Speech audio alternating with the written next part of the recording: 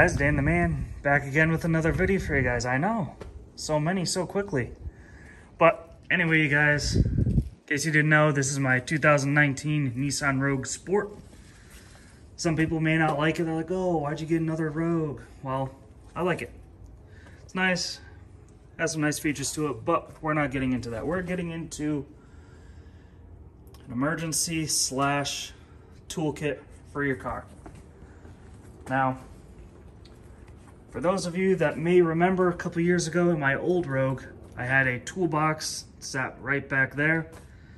Now, it was great, had all the storage I needed, but it was just way too big, took up too much of my trunk space. So with this car, I have storage right there, storage there, little storage here, and here. So my plan is to make a little toolkit and then you guys let me know what you like about it, what you don't like about it, and uh, suggestions of what I should put into it or take out of it. So I'll just show you what I have in here so far. So right now I have this SOG um, utility shovel, I have a umbrella, and I have a little knife right there. Over here, I have my Carhartt winter uh, hat and some gloves. Down here, I have some rain pants, some zip ties, various gloves, safety glasses, and my spare um, lug nuts. In the back, I have my rain jacket and an extra shirt. Now, this is the toolkit that I have. This right here, small enough bag, that way it doesn't take up too much space I could probably even put it under this where the tire is, but might just leave it out. So what I have in it is on this side, I have some 3 8 sockets. These are my metric.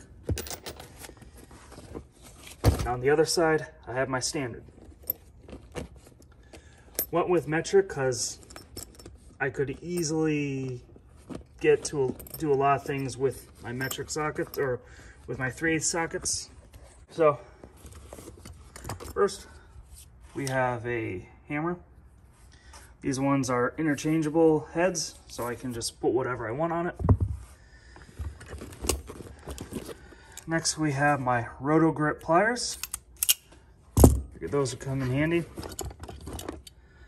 I have my Husky these are my 12 inch uh, adjustable pliers. Then we have my flush cut pliers right or cutters right here. I think I got these from Walmart for like a dollar or two. Then we have my OBD2 scan tool because I feel like every car should have one. Then we have my 3 8 composite ratchet. Figured this one because it's comfortable to use. Like you can get a nice grip on it, especially because of this little support here for your thumb. Plus, I like it. Have some linesman pliers. And then we have some needle nose vice grip. Only reason I went with these is because these are the only vice grips that I have at my house currently, other than the really small ones. But that'll change soon.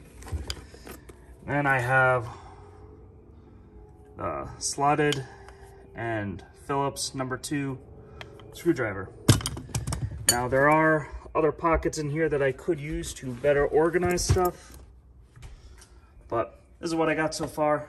Oh yeah, there's also first aid kit that came with the car.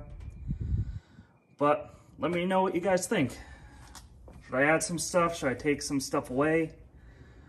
Uh, what do you like about it? What do you not like about it? Anyway, guys, thank you so much for watching. Don't forget to hit the like button. Also, subscribe if you're not a subscriber. Thank you very much. Have a great day, everyone.